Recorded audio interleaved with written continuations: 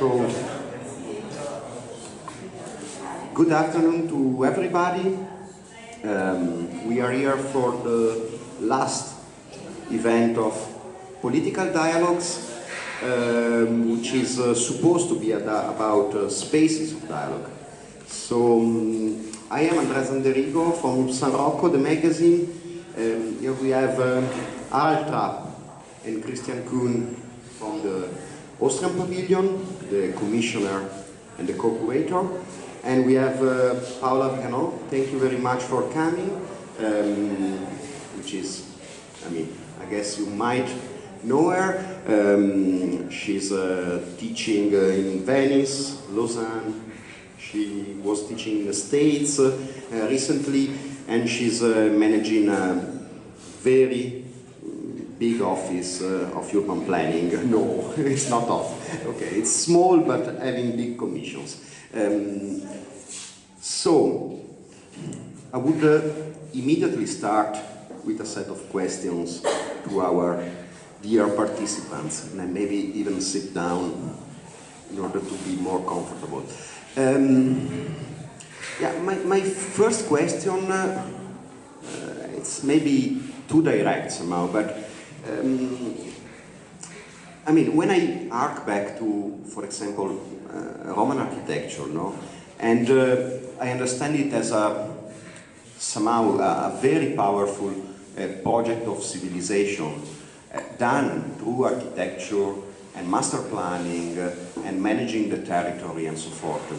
Uh, my question would be, um, is it still thinkable for architecture and planning to have such an influence on the behavior of people, on the possibility to, to, to how to say, to, to empower a certain uh, political discussion, the possibility to not only to, to host it, but even to, to, fundamentally, to fundamentally uh, give it a boost, you know? to make it possible and to, even now, I mean, in which, let me say, the discussion seems to slowly shift towards uh, the social media and towards uh, means which are not strictly related to space. So my first question, maybe to, to Paola, would be this one. Okay, this, is, this first question is, is very is very wide and probably can absorb yeah. all the time we, uh, we have. Uh, first of all, uh, let me thank you, thank the organizer, the, the, um, curators of, of, the, of this pavilion, and uh, also let me um, situate a little bit myself in this context, which I, which I think is, uh, is interestingly ironic. I like, I like this ironic situation in which people are passing where this is already already clarifying that uh, we, uh, we uh, the expert, are in a different position in respect to the past. So, uh, in a way, this is already an answer to your, to your question. But I want to start trying to, uh, to develop a little bit this. Uh, it's interesting your reference to the Romans because it is exactly reflecting on the Romans made infrastructures that uh, the term second nature was coined. So it was by looking at the big enterprises, uh, the grids that were put on territories solving problems of drainage, problems of accessibility, roads, uh, canals, um, aqueducts, uh, that the idea of a second nature that was uh, imagined for civic purposes is a nature um, constructed with civic purposes. So I think that this nature, this second nature, is exactly the core of our work today. So when you say that uh, maybe we are not able, as the Romans, yes, we are not, but at the same time we are working on this second nature that uh, at least in the European uh, continent, is extremely dense, is extremely uh, rich of, uh, of elements. And just to understand and to recycle, revalorize those elements is for me a, a very important uh, effort. So maybe we are not doing as Romans, but we are working on the space, starting from uh, the, uh, the long territorial construction, and we are still working on that space, which is something connected to the inertia of space, space that uh, can change uh, politically, but that remains physically. And then uh, we have to adapt to different uh, ways of using, of looking at this space. Uh, so finally, we deal with, this, with that space, not with the orientations, not with the ambitions that were behind that space. So the iner inertia of space is something I think is fundamental to, to consider uh, also, also today. About the ambition of a planner, of, of an urbanist, today it's clear that we are on a different planet and that, uh, as you have this title, Spaces of Dialogue, is that mainly what we are doing is a dialogue with all parties, all possible parties. I stop here for the moment. So, uh, if, if this first round is probably about uh, uh personal statements, and so maybe even uh, Christian, because we together created this pavilion and did the, the design, uh, might disagree, but I, I would uh, write, I'd like to pose something rather radical. I think this, this kind of architecture is dead, you know, so um, that's also why we've been criticized for having these kind of white models on this white wall. It, uh, for some reason, reminds some people of a mausoleum, you know, of uh, something that uh, I think has come to a certain end, which uh, poses, especially for the young architects that are here now, the great chance to develop something new uh, because it is an architecture based on representation and a way of representation where architecture was always uh, relying on the power of uh, science, you know, kind of a semiotic basis of architecture. And we've seen with these uh, um, uh, incredible possibilities of computer-generated design that uh, can generate any kind of forms that we have come to, as I would call it, a kind of rococo now,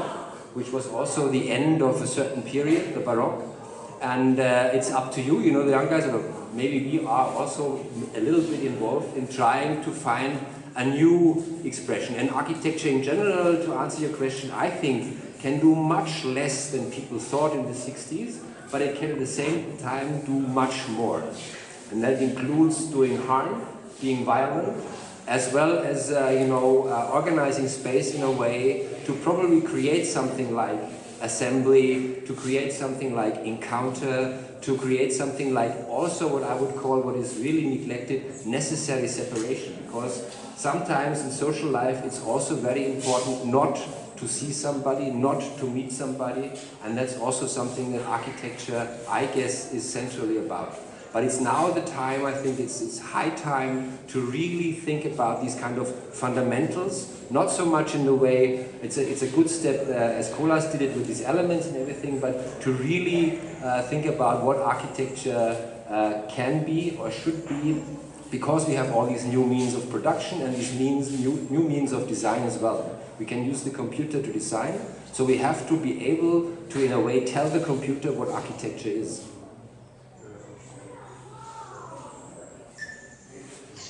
Yes, I do not completely disagree with you, as you announced. Um, in my opinion, architecture is a very strong medium of social change, which is not necessarily something positive. It is a cold medium compared to the other medium you were talking about. Uh, digital media, Twitter, which are hot media in some way, which address all the senses and are very, very fast architecture is a slow medium, which is really one of its advantages. It takes time to realize architecture. You have to move a lot of mass, usually, and uh, this task involves a lot of people and a lot of money. We chose this topic of parliamentary architecture also because in the Rem Koolhaas exhibition, two fundamentals are missing. Actually, money and power are not really addressed in the central pavilion. And I believe that money and power are very strong um, fundamental elements of architecture.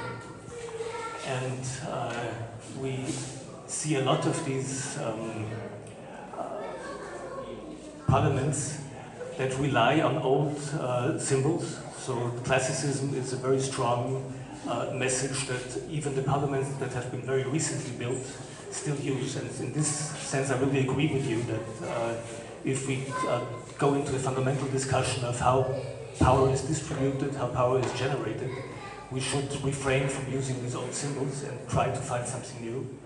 But um, I am not sure if uh, the, the, this uh, slowness and coolness of architecture as a medium is not very important and is actually the, the, one of the strengths of architecture that it takes a lot of time, it is hard to build and it's hard to do away with again. And I think that society needs different media, and one of these mediums, the slow medium of architecture, is really essential for all societies to create their form, to create the environment they want to live in. Uh, I would like to, to react a little bit on, uh, on your two uh, interventions because I discovered this, uh, uh, your um, pavilion, but uh, I, I, had immediately a strange feeling when we entered here that you are putting on, with the same white paint different stories, no? I mean, good and bad stories, stories of dictatorship and stories of democracy, story in which uh, the architecture is, um, for example, uh, expressing a regional architecture, regional style, and stores in which uh, uh architecture want to express something about the new, uh, the, the, the, the, forthcoming. So this operation of put everything on the same level can be interesting, but can be also a little bit uh, flattening. How do you distinguish then? I mean, or you are saying that we have no possibility to express any critical judgment on, uh, on history. Critical judgment means also to distinguish, no? otherwise it's not a really critical one. Uh, uh, for me, it's a problem to see different, uh, unless, unless you are proposing, I would say, sort of stylistic uh, judgment or stylistic um, uh, regard, but I think I imagine it's something more than just, just that. But then because for me, the, a parliament, uh, especially a democratic elected parliament, is something precious. Whatever style the building will have, I can reflect on this style, but I would never consider it the same as uh, something that was a fake parliament, for example. Uh, I would uh, say that if you want to compare something, you need uh, also a mode of abstraction. So, you know, to make, to bring things down to a certain level that you are able to compare them. And in this case, of course, because we wanted to integrate as many parliaments as possible, and, and here it's all of them, and it's one of the rare cases where you definitely can say it's all of something, because usually it's very difficult to say, no, this might be wrong, because there's a certain amount of nations and uh, all the national parliaments are here. So we, in a way, reduce them to this, to this abstraction which also has to do, of course, with problems of gaining information and everything, because otherwise we would have again this Eurocentric, or we get much more information on European parliaments, like Africa is still like a black hole in the internet to get information and on these parliaments and everything. So that, that was partly technically, partly also to make this comparison possible. And at the same time, we were very much interested in the question of monumentality. So this reduction also to the volumes and uh, in a way then reducing them to the same scale. we thought, you know, of course in a provocative and also maybe ironical way, would force people to, you know, then make a, a point of, you know, make a decision or make a decision based on that, you know. But it, of course, every reduction bears this problem of, uh, you know, uh, reducing something uh, to, to a point where you say, you know, there's so much quality uh, taken out that it's not possible. Second point is that for me it also has to do also all the people say we are ones of the pavilions who do not follow the theme of Koolhaas with absorbing modernity. But if we look at this, you know, uh, it is in a way about absorbing modernity to the extent that uh, one of the famous uh, uh, dictums of, of, modernity was this form follows function. So we have uh, one function here, so there would be definitely should be a slight variation of the same architectural theme. But if you look at this 196, there's, there's nothing of that. And so I think it's, it's also interesting that obviously Koolhaas's starting point is, is completely wrong concerning at least this typology. And so it's, it's, this, this came out, I think, or it comes out even stronger through this radical abstraction. And it is obvious that form is not enough to define architecture. The interesting thing is that you have parliaments that look almost the same.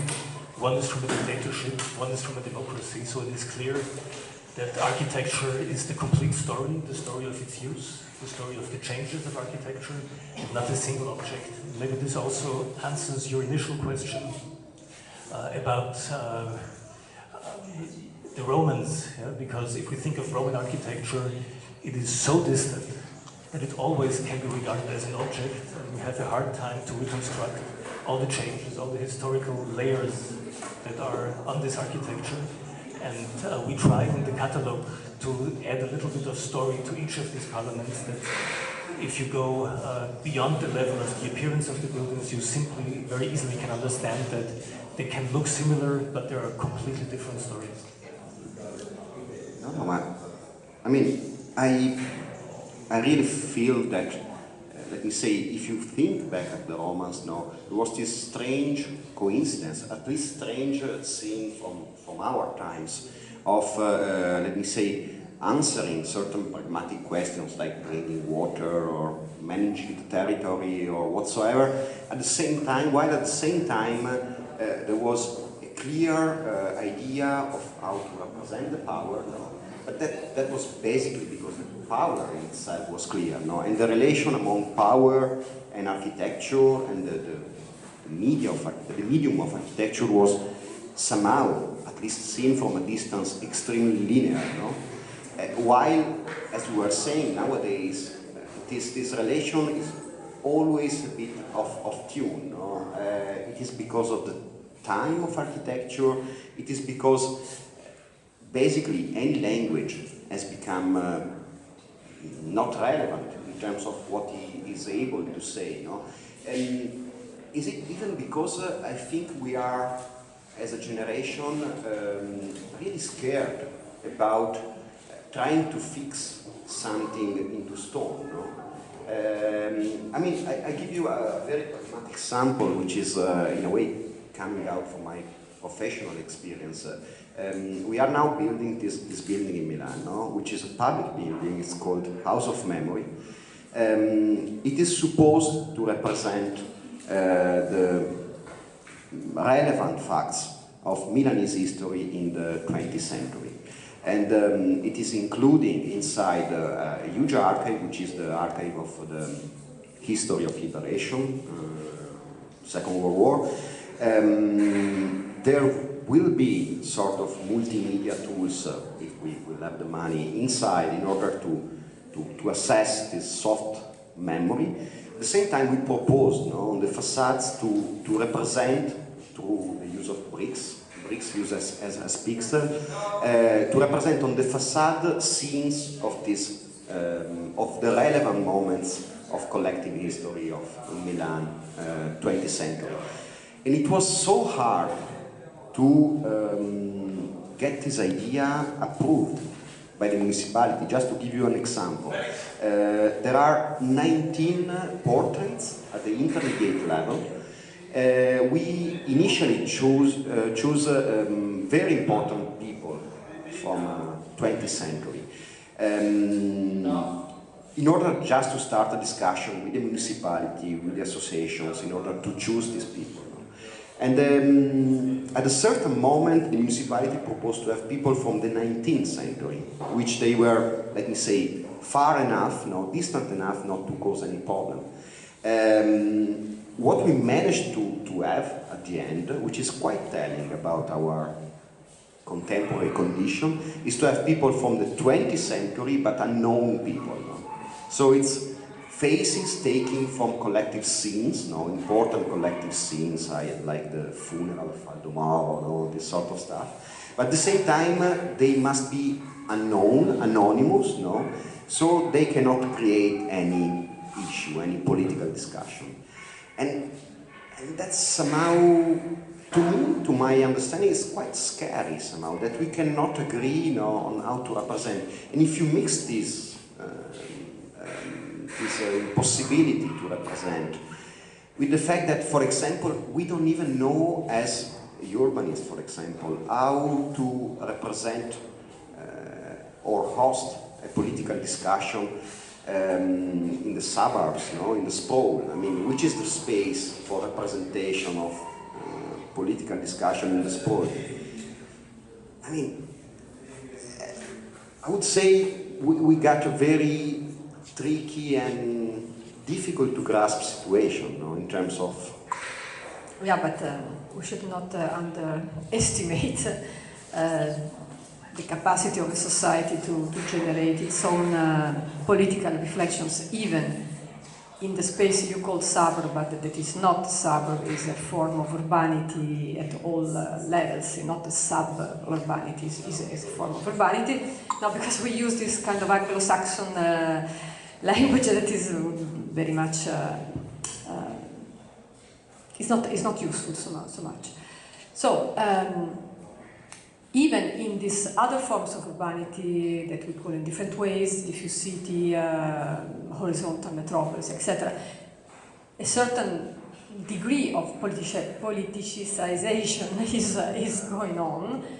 They have expressed their own political view. We may like or we don't like, but they have expressed very clearly, very clearly it's not by chance in, that in all these areas, both in the north of Europe and in, uh, in the north of, uh, of Italy, that all the right-wing parties, very much based on sort of territorial identities, have been growing in the last uh, 30, uh, more or less 30 years. So we have to understand this. They have expressed. It's not that they haven't expressed. They found their place, their, their spaces, their occasions, Sometimes it was the river the place where this political thought was expressed. I mean, some territorial figures were becoming the, the representation. We have to understand this. We are much far away from uh, the building here. It's all the territory that is uh, co contested and, and, uh, and part of this uh, redefinition let me use a word that I detest as identity, no? it's the redefinition of, of or appropriation of certain part of the, of the territory. So I think they, this is going on with or without us, I think. What I think is important for, uh, for architecture and for urbanism, of course, uh, is to reflect on uh, in which way architecture and urbanism can be the vehicle through which express some societal values because maybe we have something to, to do here. You were criticizing the actual trends in, uh, in architecture, this Rococo story that maybe is, is touching its limits.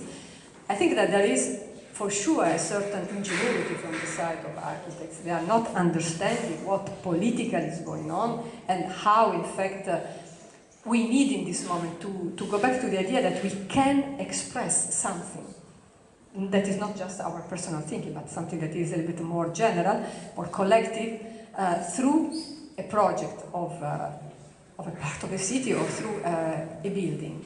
And um, we, we, discussed very much with Bernardo Secchi this, uh, this point. In an experience we had in Moscow, we were uh, working with, with, other teams on this new Moscow.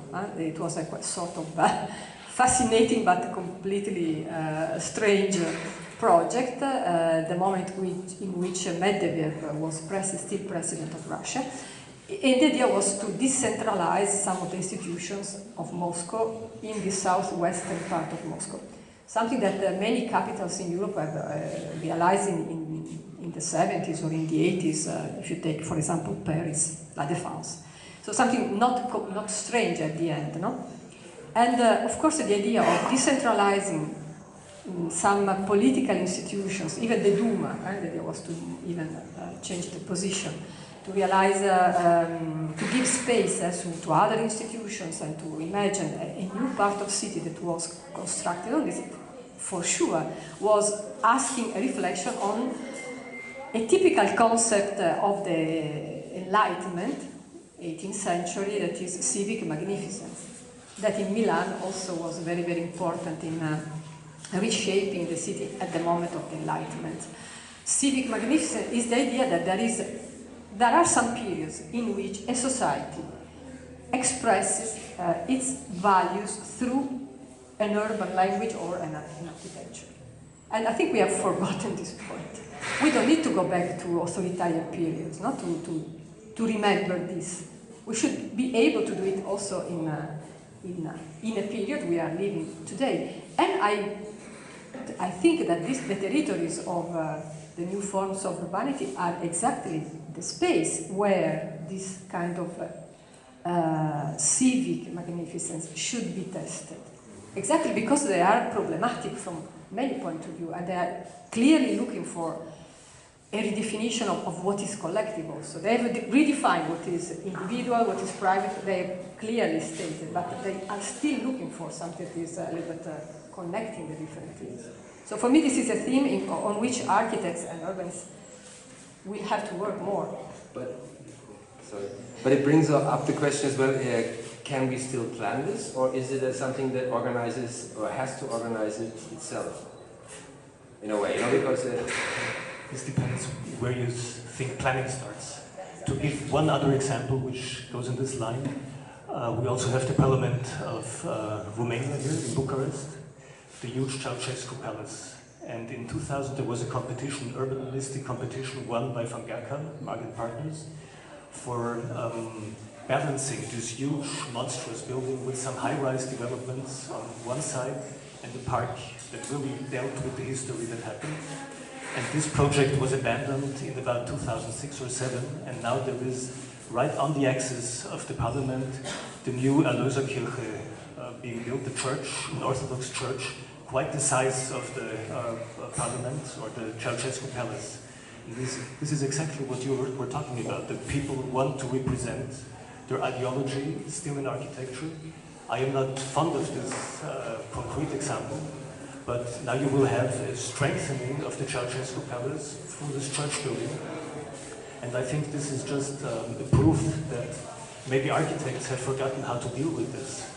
But uh, the Orthodox Church and the conservative elements of the Romanian society know very well how to express this power. They use the best place. And uh, I think the project by Gerkan was a project of enlightenment in comparison with this church.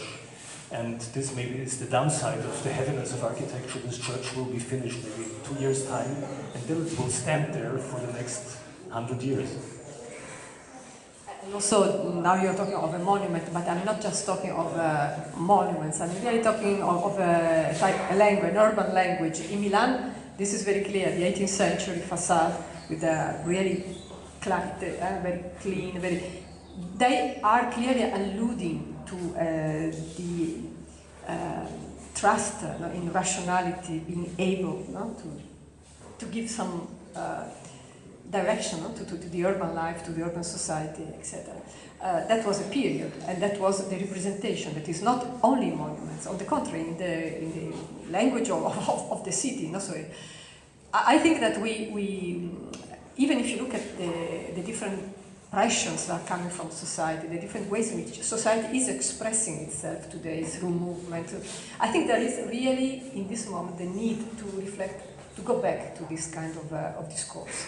And uh, maybe it will not be through this kind of monuments, but through a more everyday language, more, more uh, something that is more connected to spaces, uh, normal spaces. But still, there is a problem, also for, for architects, which goes maybe in a different direction than the idea of just exploring phantasmatic uh, objects, which can be interesting in some cases, but it's not when, for example, the phantasmatic object becomes just a small thing that is a, a ridiculous phantasmatic object, for example. No, but I mean, don't get me wrong, I completely agree with you that we should uh, work on that level. But at the same time, um, I think you are really optimistic somehow, which is great, uh, which is great because um, really, uh, if I see what's, what's going around in terms of production of, of space, uh, the only value which, is, which seems to be represented, it's in the end money. No? Um, I mean, even these churches, no? I see it, for example, in the Balkans. No?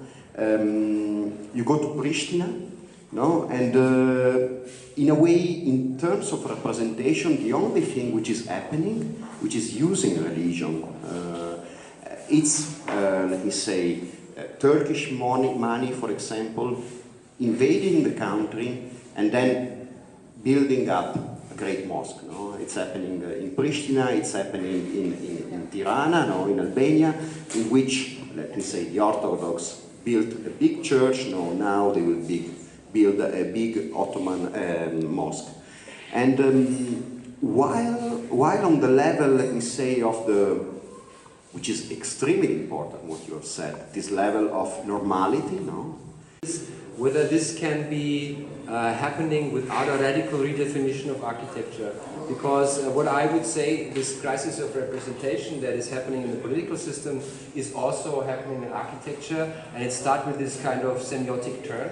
And you're still talking about a language. I think that might be the, the fundamental mistake. Architecture is not a language. As soon as it approaches to be a language, it is uh, uh, in a way uh, inferior to all the other languages because they are of course much better to express. So it's, it's much easier to um, get any kind of uh, definitions and everything uh, put upon an architecture because you know it, it is as an object existing but then become, get certain meanings attached to it but I think if architects really want to approach these new forms of collectivity, they have to also, in a way, redefine architecture more into what they call now this kind of object orientation. Because for a long time now we've been told that architectural space will dissolve anyways into the media and will be of irrelevance because you know it doesn't it doesn't count anymore where you are, you know, and you have your smartphone in your hand, and so that's the real space that you are living in and, and communicating in. And I think that's that's wrong because we see there's a huge demand for architecture and there's also some very simplistic and brutal uh, material manifestations of all these walls, fences, gated communities that show us uh, how, how you know, enormously important architecture can be as a, as a sheer object. So I think uh, just to continue in this, uh, in this belief that architecture um, as a composite of an object with a meaning can do this is, is, is not working anymore.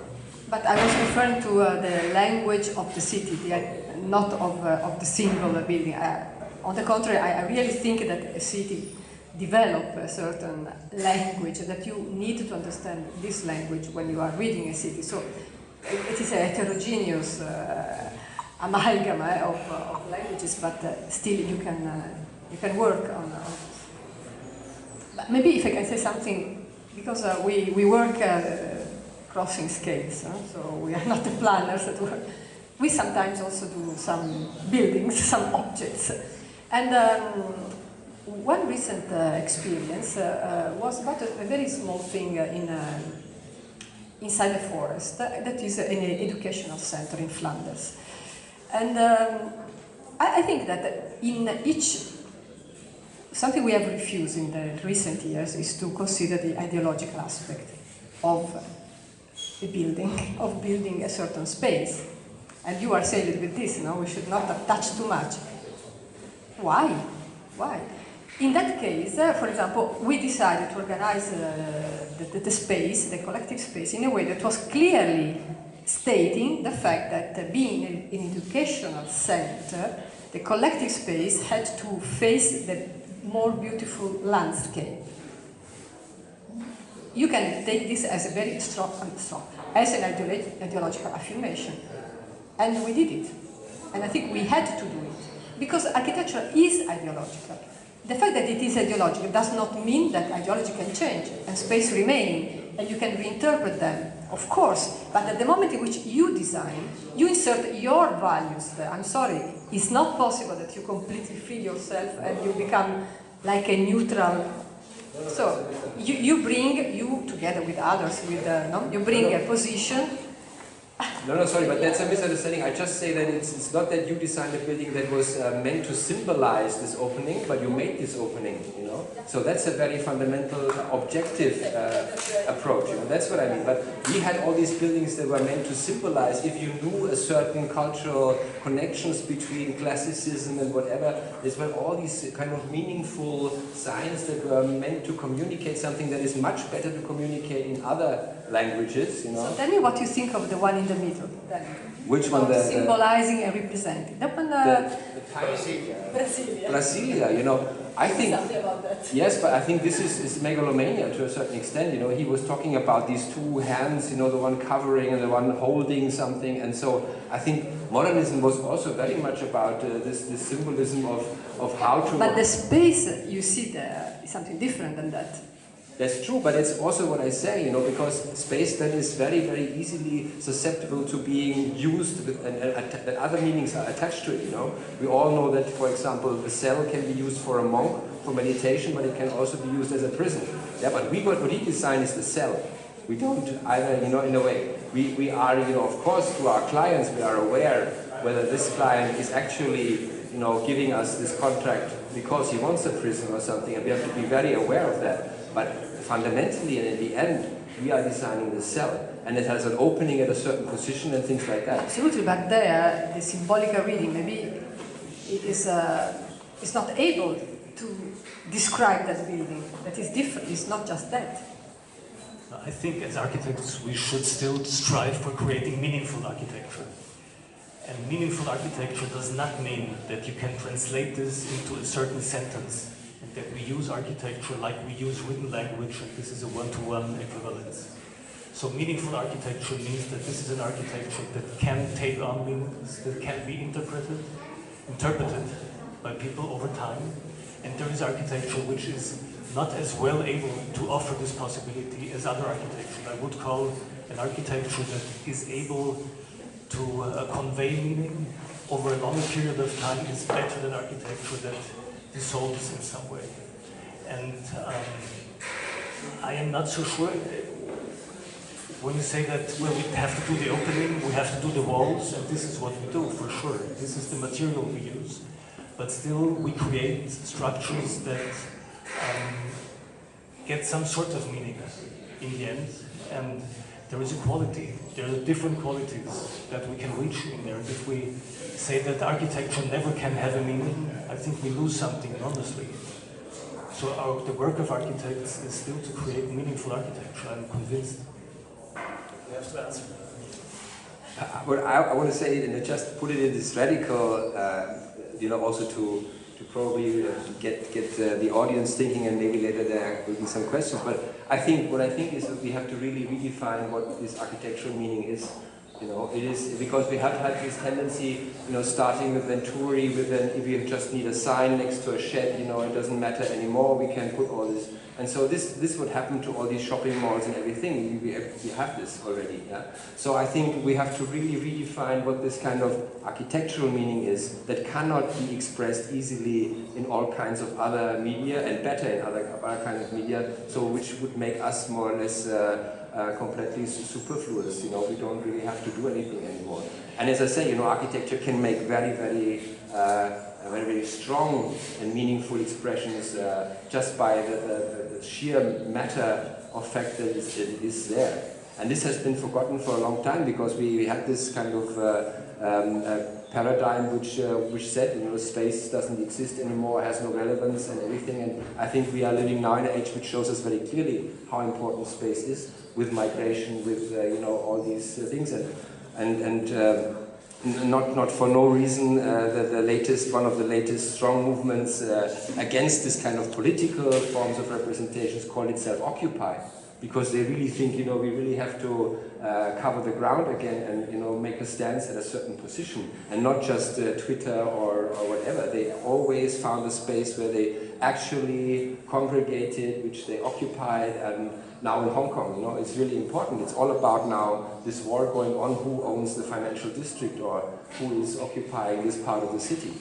And uh, so that's, I think, is, is something very important. It's, it's the bodies of people as well as, uh, and it's not all about uh, just uh, uh, meanings or um, ideologies that can be expressed much better in, in other languages that are much more suitable to, to, to express them. No, I mean, I, I agree no, on what you, you were saying, that somehow um, architecture as a media is extremely emphasized. No? Um, at the same time, I think that uh, maybe, and I think it's a personal obsession, but I got the feeling that, for example, one of the key uh, topic about this idea of uh, sharing architecture, so architecture as a collective language um, is the fact, and it was completely killed by the Enlightenment and even more by the modern, modern movement, I think it's beauty in a way. So um, if you accept, as traditionally was, no, before the Enlightenment. Uh, the idea that beauty it's uh, extremely democratic somehow, no, because uh, beauty is not precise, but it can communicate with, with everybody, supposedly. Um, if you accept that, and if you reflect on the fact that for the last 300 years, uh, talking about beauty was, was completely forbidden, no? Uh, I think there you might have a, a possible solution. Uh, and, and we don't have the tools to talk about it because it was such a taboo that nobody knows anymore what beauty might be in terms of collective understanding of it. But I think that their uh, architecture and urbanism should really reconsider um, beauty as a goal, no? beauty as a, and not for the sake of it, just because it's the only uh, tool uh, which architecture has in order to communicate with, with everybody, basically. And, and then, in order to being felt as part of everybody, everybody's life somehow. Maybe I'm a bit obscure here and naive, eh, but... It's, it's beauty that is... No, I think you're right, but uh, again, I would say, you know, that beauty has been corrupted during the last, uh, because it is, it has become a commodity in a way, you know, it was, uh, they, they still sell these kind of buildings as beautiful, and, and, uh, and that's always, uh, if you look at the commercials, you know that the, how they promote these things, uh, beauty is, is, quite important. And I, I think, of course, you know, beauty and aesthetics is really important because they are relying on presence much more than on meaning, although it's also a cultural thing, of course. You know, we all have a, a learned concept of what, what is beautiful, and it would be the question if there's anything like an archetypal beauty or something like that. But I think it, what I, it's only the, the, the, one point I want to make. It's not covering all of architecture. We need a resocialization of architecture because through this kind of semiotic architecture, it has become commodified. You know, it was just something that uh, surface that. Uh, uh, certain meanings were attached to and it was sold like that and the spatial aspects really have been neglected. And, and if we are anything and we have any chance to survive as architects, uh, we have to have this kind of unique selling point that we are the specialists for spatial organization. Uh, and we don't try to get too much into uh, discourses where other experts are much better than we are. Uh, because uh, I think that's also something that's easily happening now with all these projects going to Africa and, and, telling them how they should build a school or whatever. You know, it's it's it's very I think it's very difficult on a certain on a certain level. But in fact, the question of beauty and the question of uh, meaningful. There are two different uh, things because when uh, you advocate this meaningful architecture, we have always to be worried about, not worried, but uh, to understand meaningful for, for whom. Uh, and that for whom uh, can change the, the, the, meaning of the meaningful. Unless we, we consider an architecture that would transcend this problem by offering a sort of very open uh, possibilities, and then the whom can be not defined, not, uh, but be, being meaningful needs to have a whom. So this is a can, can be a problem when you go to Africa or, or, or, even when you imagine something. I could imagine architectures with different potential for becoming meaningful.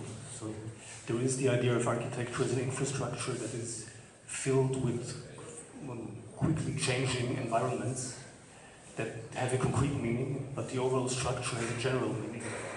And I think we should talk about architecture on a very different level from the uh, regional, urban, infrastructural, and environmental, micro-environmental level. And this would allow um, a higher speed of change on, on a certain level, which conveys different meanings, and the stability below.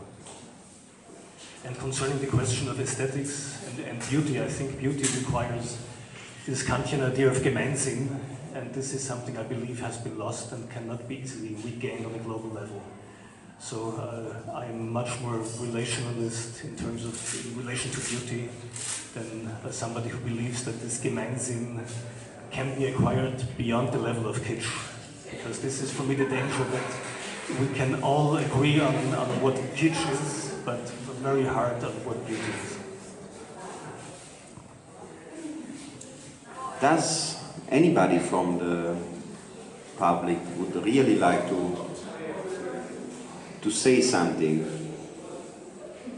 or even to ask something about this uh, this installation? I mean,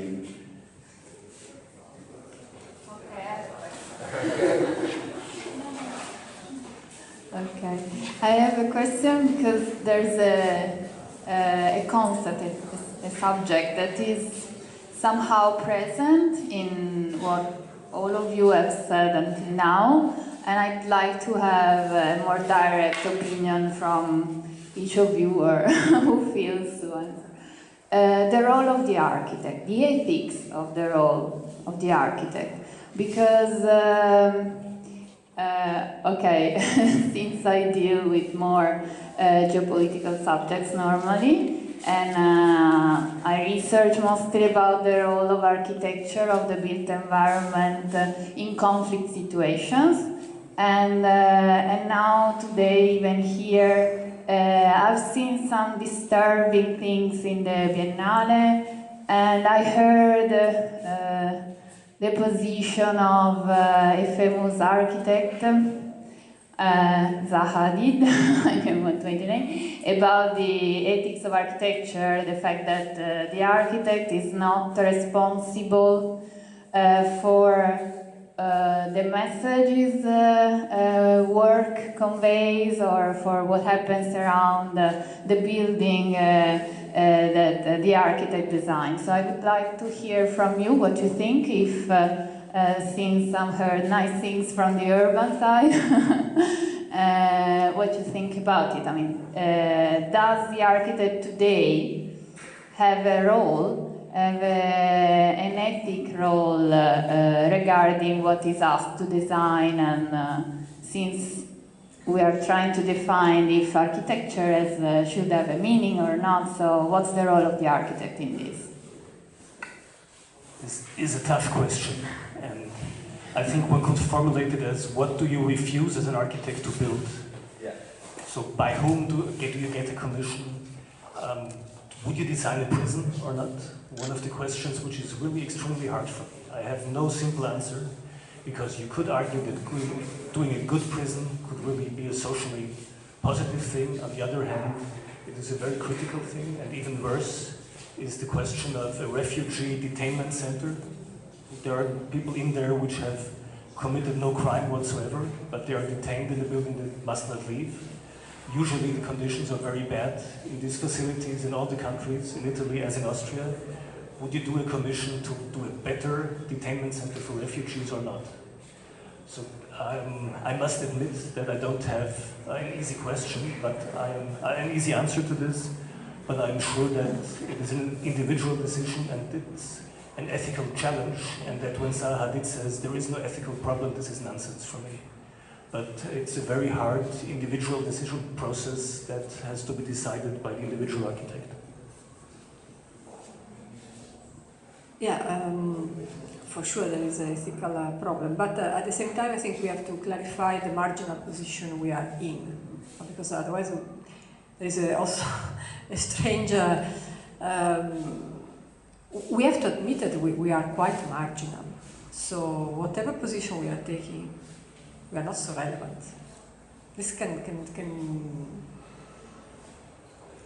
can seem maybe a, a retreat. It's not a retreat. Uh, of course, I'm convinced, convinced that in any case, whatever small uh, thing we are, we are doing, we, we take a position, and of course, we should take a, a something that can be defended and not. Uh, um, but at the same time, I don't know. Even I, have seen this uh, polemic about Saudi, but I think it's uh, it's, it's, it's, a, it's, a, false uh, question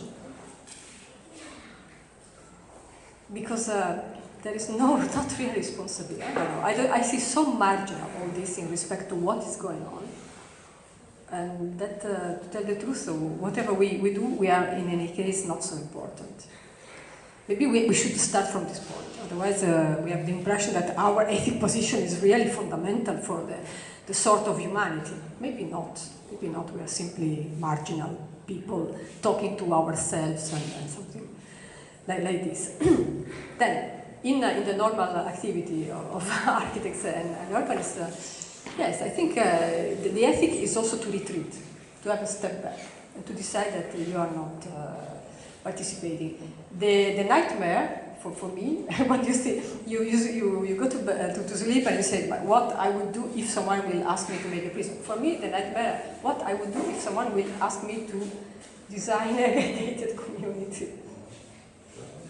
And uh, I think I will say no, simply. It's very the prison, no, because the prison is inside. Uh, it's inside the prison is. I mean, you can do very different prisons. No, there are prisons that are imagined as places for uh, not re-education, but for education. So I, think that with the prison one can reflect. With the gated community, it's more difficult because that's uh, clearly. so in that case, I think. Uh, so I don't know, to tell the truth, how our colleagues uh, living, for example, in. Um, America Latina, where you only do gated communities. I mean, there is no other way in which the city is designed than that. And I feel that's why I was thinking before. I was saying before that we are still very privileged in a way. Of course, we are not obliged to take immediately very this kind of very strong uh, position. But uh, yeah. First of all, we should not believe to be God. And second, uh, each one of us has to assume uh, contradictions and clearly. I mean, I, I think you are certainly right when you say that we are marginal. It's even true that I'm certainly marginal. Zadi is a, a bit less marginal. No, I mean, But just a- her opinion. Yeah, it's it's just about a, a slightly different scale, which might be might create a certain difference in terms of yeah. No, because I, I want to clarify why I'm saying that. It's not against that. It, I mean, it's not No, that no. the point. But the point is that uh, we cannot uh, tell ourselves that we are so important because we are not. We are just arriving at, the- at the final, final. So we are completely nothing in that. Uh, I'm not so sure about this. If you compare it to other academic uh, uh, professions, you know, like there's hardly any medical doctor in the world that is as important as Zaha Hadid in, in general, you know.